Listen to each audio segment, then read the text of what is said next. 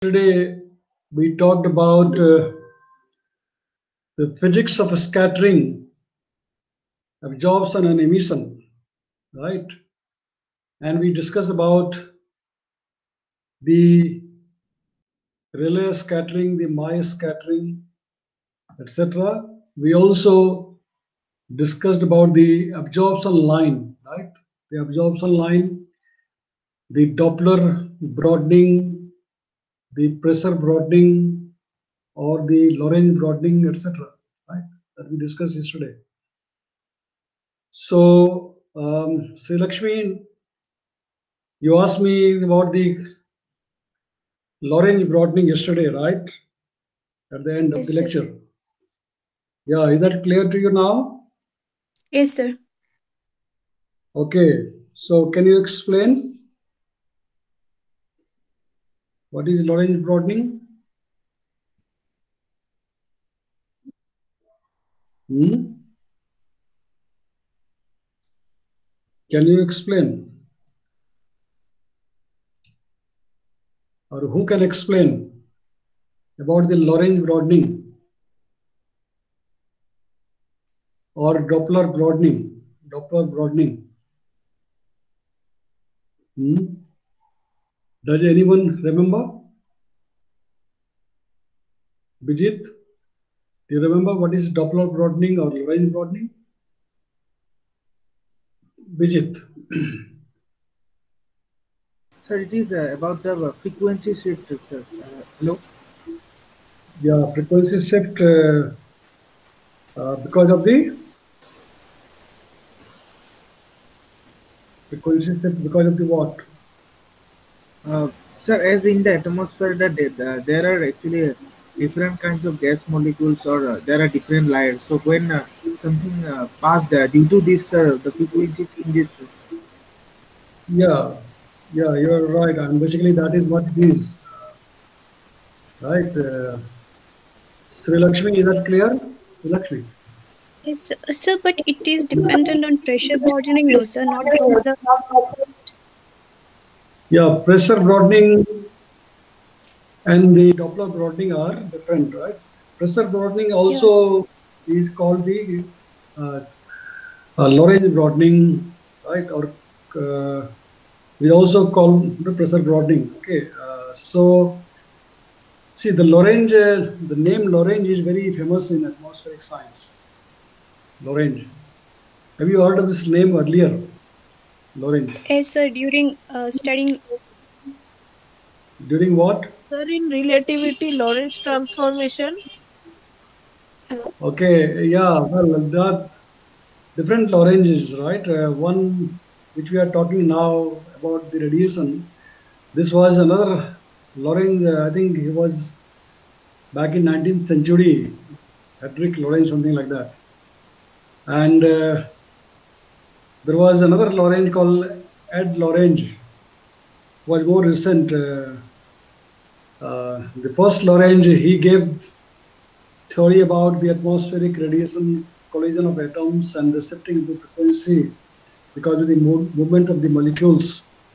There was the Hendrik, I think, Hendrik Lorentz in back in 19th century.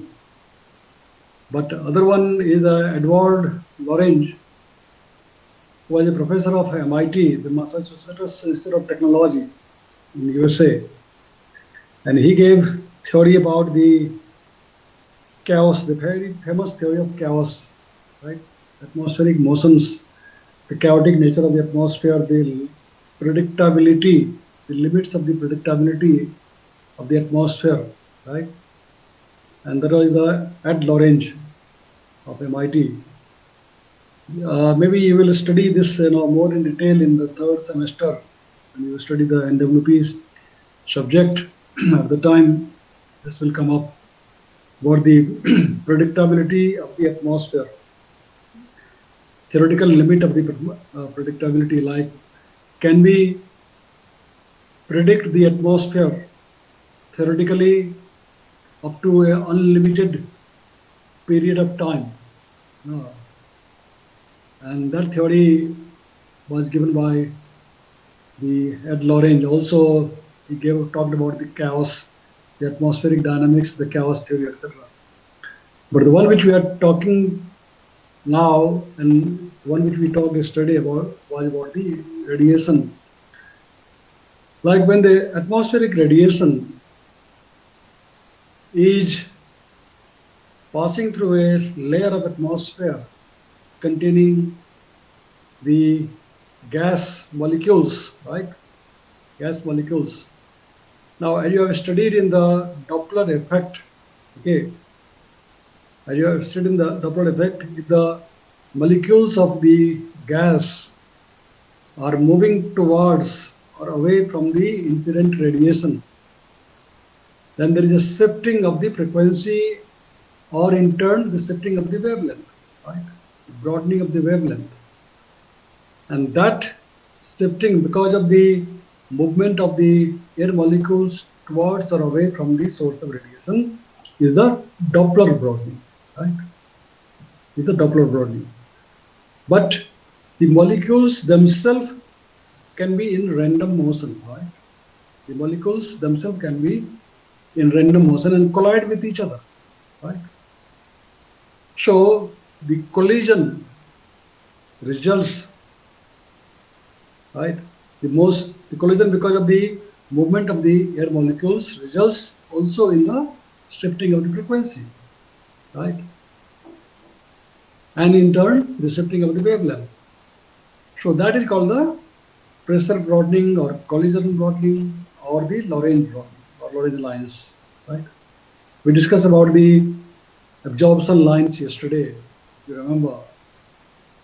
And we showed that different gases, they absorb the radiation in different wavelengths, no, differently. Some are transparent to certain wavelengths, some are opaque to the radiation in certain other wavelengths, right? And the band in which the radiation is transparent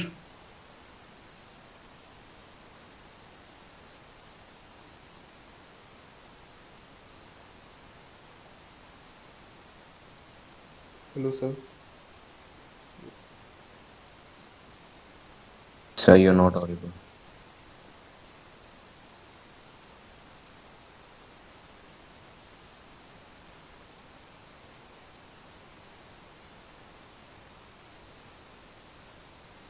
Hello, sir.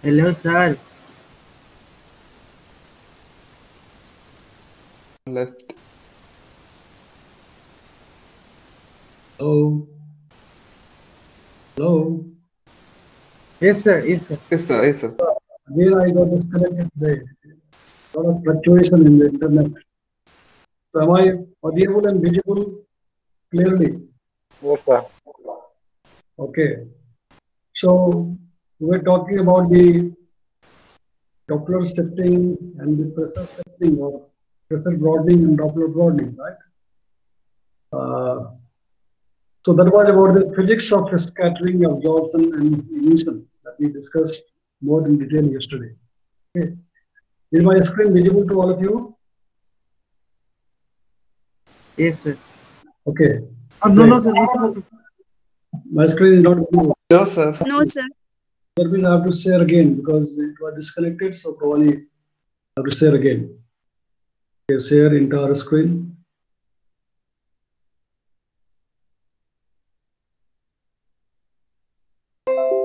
So is the screen visible now? Yes, sir. uh, I'm also visible clearly to all of you. Sir. Yes, Sir. you can now. Right. So uh, today we are going to talk about the radiative transfer process. Talk about the radiative transfer processes. Very important. Okay. Uh, the way radiation is transferred from one layer to another another layer of the atmosphere, depending upon the amount of gases or molecules or salts or clouds present in that layer will determine how much will be the absorption or net heating because of the radiation fluxes, right? Because of both long wave radiation fluxes as well as the short wave radiation. Flux. So in the atmospheric models, when we try to incorporate the effects of radiation, we have to compute these things correctly. Radiative fluxes in each layer of the atmosphere of the short wave and the long wave. Okay. Uh, these things are very complicated theories. You know, a lot of details are available in the textbooks. I mentioned to you very beginning about the radiation. Right? Uh, but we shall only briefly discuss the radiative transfer process or the simple radiative transfer processes in the atmosphere. Okay. So let us say this is a layer of the atmosphere. Thickness, let us say ds. ds is the thickness of the atmospheric layer. Let's say this is the intensity of radiation I lambda, which is passing through this layer of the atmosphere. So as it passes through this layer, it travels travels by the distance ds, and part of this radiation will get absorbed in this layer, and part of it also can get reflected or scattered back. Once it comes out of this layer, it gets attenuated or its intensity is reduced by an amount, say di lambda. Okay. So the net intensity of the radiation when it comes out of the layer atmosphere is I lambda minus di lambda, right? So we'll have to compute this radiative transfer. How much will be the radiative transfer based on the laws of radiation? Okay. So when monochromatic radiation of intensity I lambda passes through a thin layer ds, yes, as in the figure, a small increment di lambda will be absorbed. By the definition of the fractional absorption have discussed earlier, di lambda is equal to minus a lambda i lambda or alpha lambda i lambda. This is the absorption coefficient. Lambda is the wavelength of radiation. So we consider the case when the gas is so cool that emission at the given wavelength is negligibly small. The emission is negligibly small. All that we are talking now is change in the intensity of the radiation because the absorption by this layer of the atmosphere. And the emission is negligibly small because too cold. Okay. Measurement of radiation entering and leaving such a layer pertain only to absorption. Under such case, alpha lambda is proportional to the density of the gas and the distance ds. So you can write alpha lambda equal to k lambda ds, where k lambda is called the absorption coefficient of the gas. Absorption coefficient of the gas. It is generally a function of the wavelength and may vary pressure and temperature. This k lambda, the absorption coefficient is a function of the wavelength. It may vary with pressure and temperature. So last equation 5 may now be written as pi lambda divided by i lambda to minus k lambda rho ds. We're just trying to write it as a function of the density. say that, that the fractional decrease of intensity owing to the absorption proportional to the mass per unit area the absorbing medium reversed. When we integrate this equation number 6 for a finite distance s, get integrating from i lambda naught to i lambda s ds is the distance travel di lambda divided by i lambda is equal to integration from 0 to s k lambda rho ds right? where k lambda is the coefficient of absorption rho is the density and ds is the distance traveled or you can write i lambda s lambda s is equal to i lambda naught times e to the power integration 0 to s k lambda rho ds. After integration, you can write this i lambda s. The intensity of radiation after it passes through the medium or layer of the atmosphere. So the right side of this equation 6 is often written as k lambda rho ds. This is equal to d12 this this term we generally denote by d12 okay where tau is the optical thickness and which is non-dimensional okay? Tau is called the optical thickness optical depth. That depends upon obviously the density of that layer and the coefficient of absorption absorption coefficient for that wavelength optical thickness or depend upon the density of the layer the absorption coefficient for that wavelength lambda. Okay. So the last equation 7 may be written as I lambda s equal to I lambda naught times e to the power minus tau. Simplify. Tau is the optical thickness. Therefore, the significance of optical thickness is that when tau is equal to 1, intensity of radiation is reduced by 1 by E. Okay. When tau is equal to 1, the intensity of radiation is reduced by 1 by E. In the important special case of radiation, so that the atmosphere, it is convenient to use the vertical distance Z as a coordinate instead of distance along the radiation beam S. Okay. If you recall diagram, one of the diagram that I showed yesterday or day for yesterday, while discussing about the geometrical nature incident radiation. You remember that now we tried to denote distance traveled by the radiation. Recall the figure. If you recall the figure, this is the Earth surface. Okay, and is the sun, for example. Okay, and the radiation is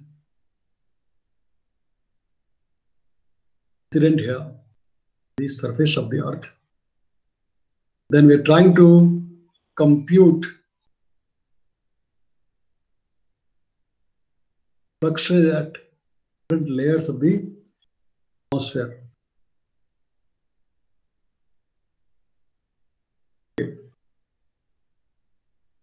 So let's say this is S naught, S1, S2, S3, and so on.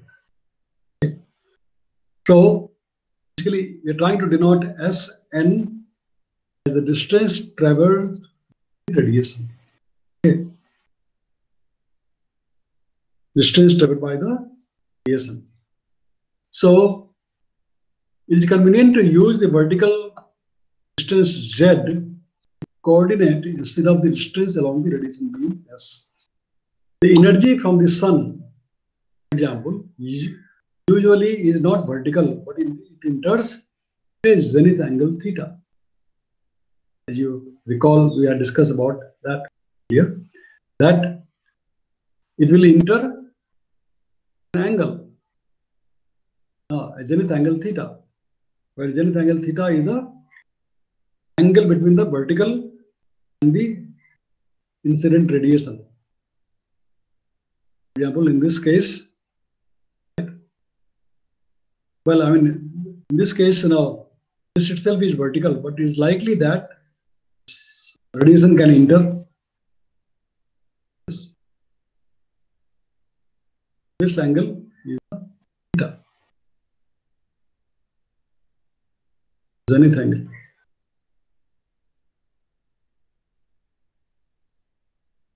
Okay. So, oh, I- it is illustrated also here in the diagram. You can see from this diagram, is the diagram visible to you? Yes or no? Yes, sir. Okay. Right. So this is, let us say, this is the layer of the atmosphere. This I lambda is the intensity of the radiation incident or passing through this layer. It is zenith angle theta and is traveling by distance ds. Thickness of the layer of this atmosphere is dz. What we are trying to say is that we consider this distance z the vertical coordinate rather than this s as the vertical. This ds is the distance traveled by the intensity or by the ray or by the beam. This can change depending upon the angle theta. If the angle theta is uh, small, then the ds will be small. If it is exactly at the zenith, distance ds will be the smallest. So this ds will change right, according to the zenith angle. Therefore, instead of considering considering s as the vertical coordinate, we consider z as the vertical coordinate.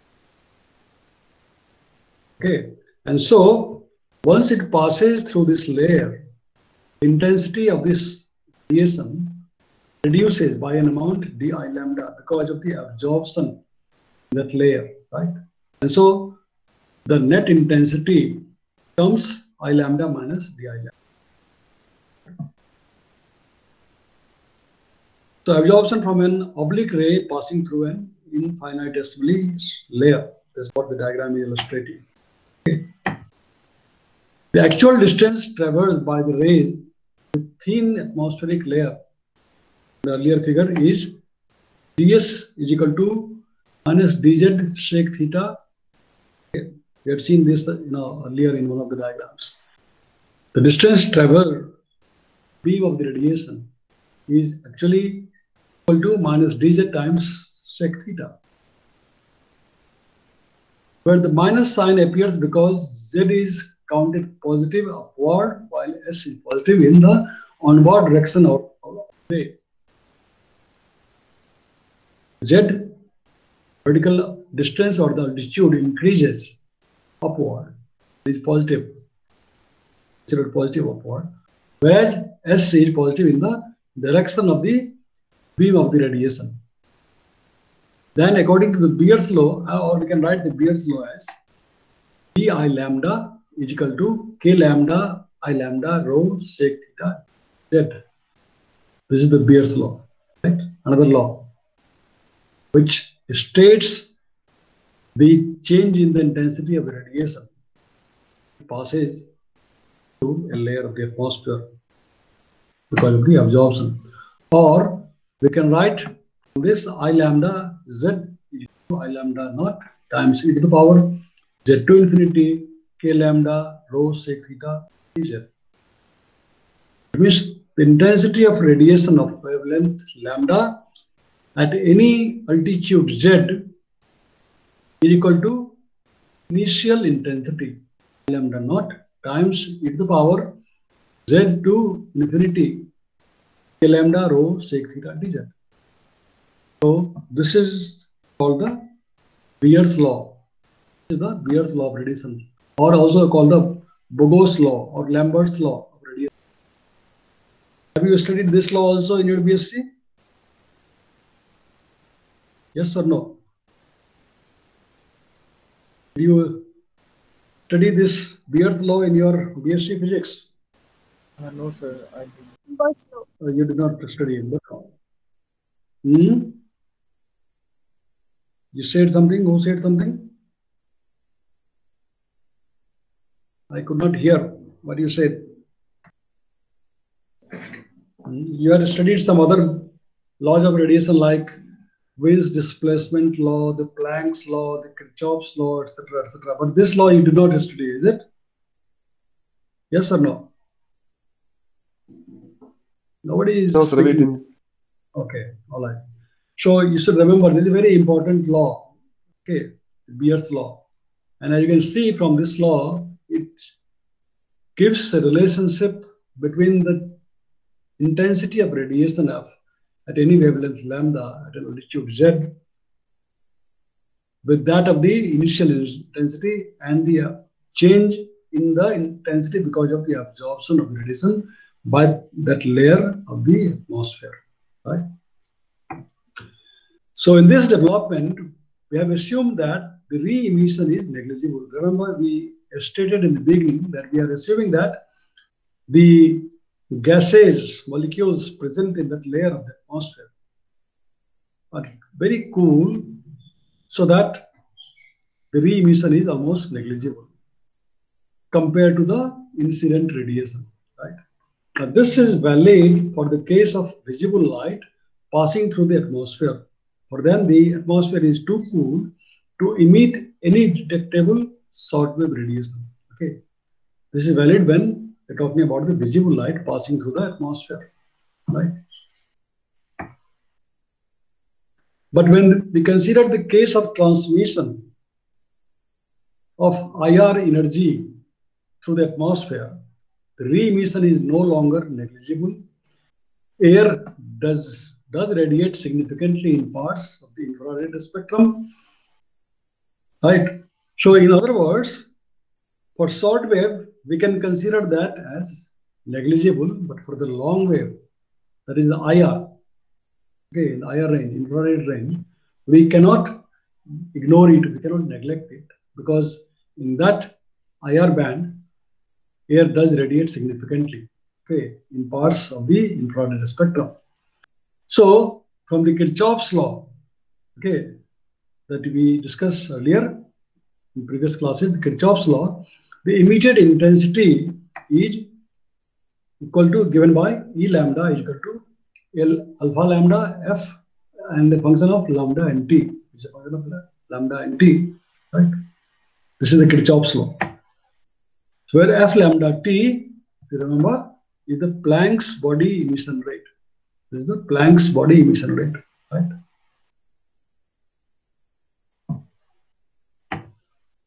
Thus, when monochromatic radiation enters a layer of gas, there is a loss by absorption and again by emission at the same wavelength, right? When the monochromatic radiation enters the layer of the gas, there is a loss by absorption and again by emission at the same wavelength. And so the net loss is given by di lambda is equal to minus alpha lambda i lambda plus alpha lambda times f lambda t Planck's constant, Planck's body emission rate, right? Or we can write from here di lambda is equal to rearranging this equation di lambda is equal to alpha lambda times f lambda t minus i lambda, right? And this is a very important equation. This is called the called the Schwarzschild's equation. Have you heard about this equation, Schwarzschild's equation? Yes or no? No, sir. This is a very, very important equation for the radiative transfer processes. Okay. A very important equation. This is the equation of radiative transfer and is known as Schwarzschild's equation. Okay. Somebody also pronounces this as Schwarzschild's equation. Okay. So whenever absorption and re-emission are significant at a given wavelength, this equation number nine governs the change in the radiation intensity. Okay.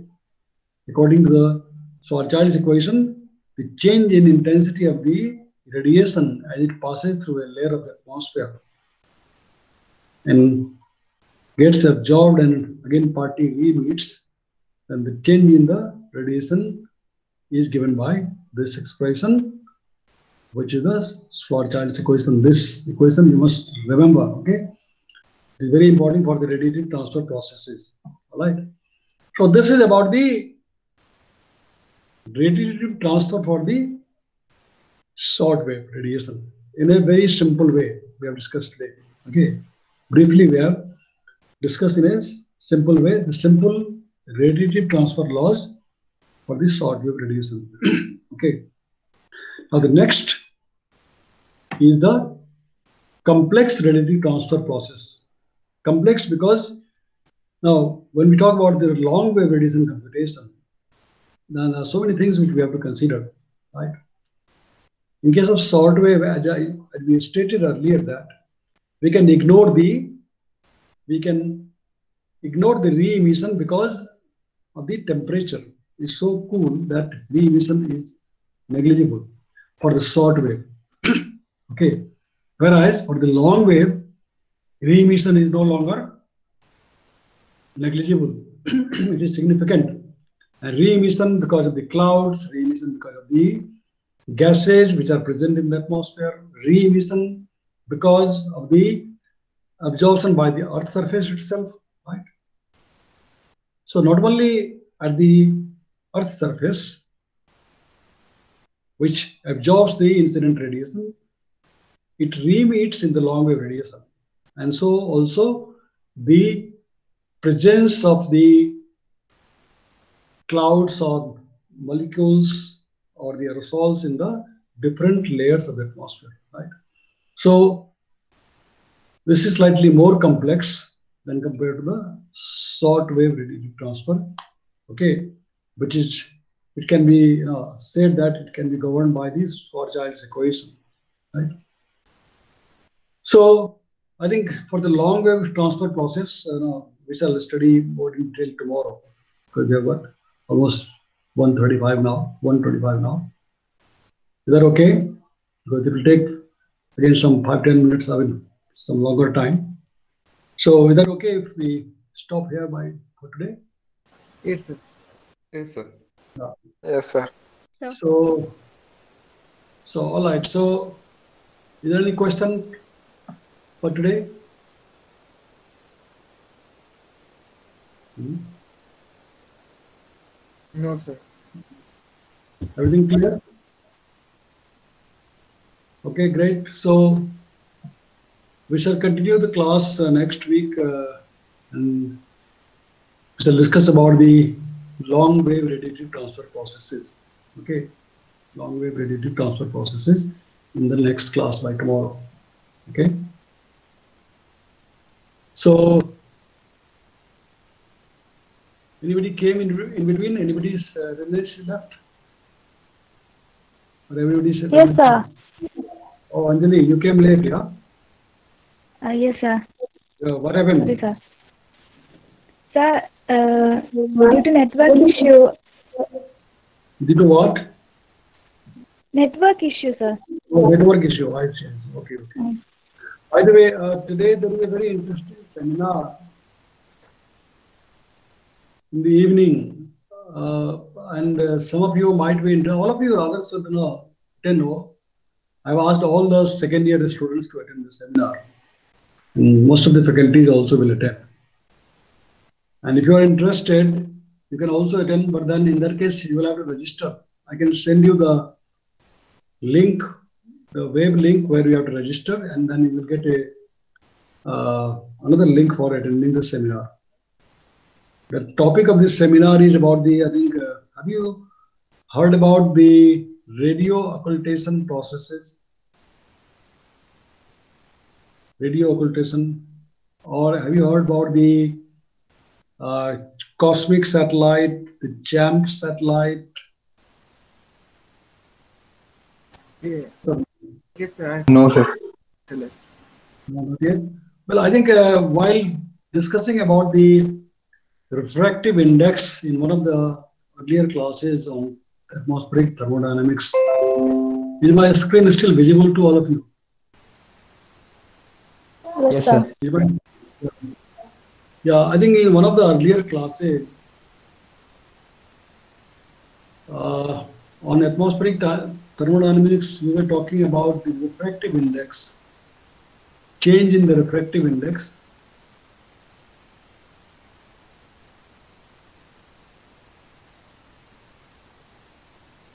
When a ray or a beam of radiation passes through a layer of the atmosphere, right? Oh, this is the Earth surface. And we discussed that, you know, in one of the classes that, you know, about the refraction that you have already studied in your BSc. Suppose you have a glass of water, right? And there is a rod placed in that glass of water, right? So the rod will not look straight, it will look as if it is bent.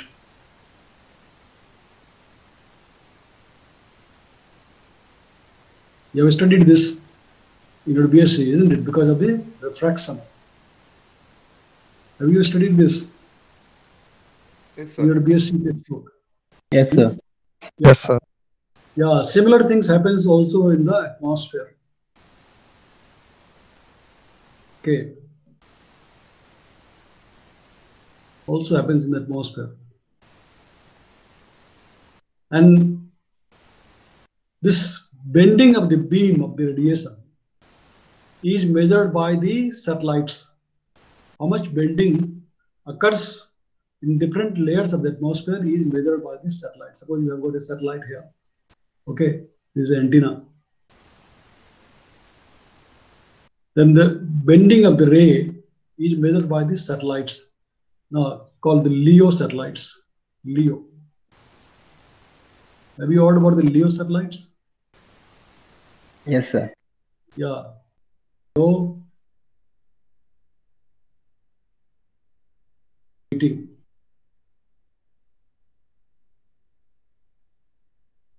There are many satellites now.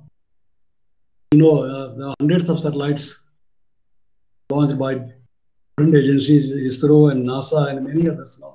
Maybe another satellite by here. Maybe another satellite. So, these satellites will measure how much, suppose if this is bending the because of the passage this layer of the atmosphere. Rather than this ray coming directly to the earth and the presence of different passage water vapor etc in each layer of it. In other words because of the change in the density the change in the density of the layer atmosphere, the ray is bent. How much is bent? Bending angle on the refractive index. Index. That's what is measured by the satellite. And by measuring that, we can calculate what the density. The density is proportional to the amount of water vapor. Also the temperature. According to the gas law, ideal gas law. So that we can indirectly retrieve how much is the vapor in each layer, the temperature in each layer. Also, we can derive the winds. Three things we can derive: wind components, U, V, temperature, pressure, humidity. We can derive measuring the ray bending because of the changes in the density of the layer. Interestingly, you may not be aware that now every day hundreds of aircrafts fly the earth. Every day, so many civilian aircraft, hundreds, maybe thousands of aircrafts they fly, passenger aircrafts fly around the earth. And nowadays, each of those aircrafts are fitted with GPS. GPS. What is GPS? Yes, sir. Yes, sir. What is GPS? Global positioning system. Processing system. Yeah, exactly. GPS, Global Positioning System. All those aircrafts, there are thousands of them. They fly every day from different location of the earth, you know, from USA, from India, and Europe, and so many things. And each of those aircrafts are fitted with the GPS system. So even the aircrafts can measure using their GPS system this bending of the ray, bending of the ray. And so it is very, very recent technology, you know, very recent, you know, latest technology, you can say, that the aircraft will measure the bending of the ray and it will provide the information to the ground-based station. At the ground, got the ground-based receiver.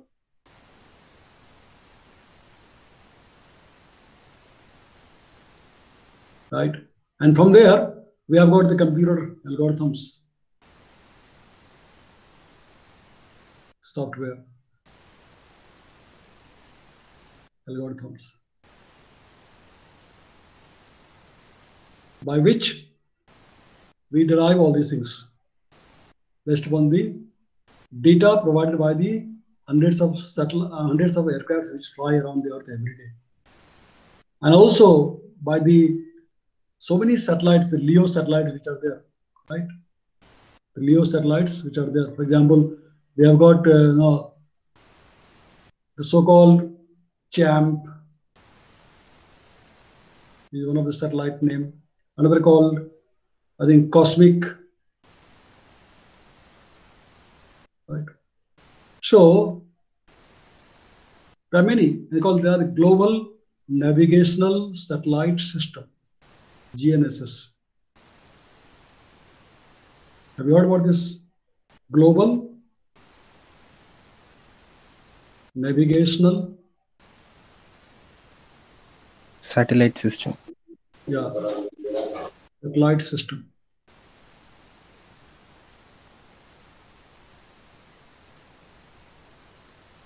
So there is a huge application of this GNSS in the atmospheric observation measurements, retrieval of the atmospheric parameters like these things, GNSS. So I was talking about the today's seminar. Today's seminar is actually related to the application of this GNSS in weather and climate modeling. Today's seminar is related in the application of GNSS in the weather and climate modeling. Actually, this seminar will be held in Nepal, in Tribhuvan University in Nepal, Kathmandu, Nepal, right? But since we are connected to each other, so we can also attend the seminar. So any of, any of you who are interested to attend, I will send you the link where you have to register. Okay. I'll send you the link. Are you interested to attend? Any of you? Everybody is silent. Yes, sir. Yes, sir. Yeah, I'll immediately send you a link. Sir, when is the lecture? Similar to 5 o'clock uh, Nepal time, that is uh, Indian time in the 4.45, 4.45 in the evening. Okay. Uh, Yes, sir. let me just forward this to you. I just forwarded you this 445? on the WhatsApp. I just forwarded you the message. No, it will be starting at 5 o'clock in the evening at Nepal time and it will go on for I think one and a half hours, 6.30 or 7 o'clock. One and a half hours. Okay. So those of you who are interested, you have to just just check your WhatsApp. I just sent you the message. You'll have to register. Yes, sir. Got the message, sir.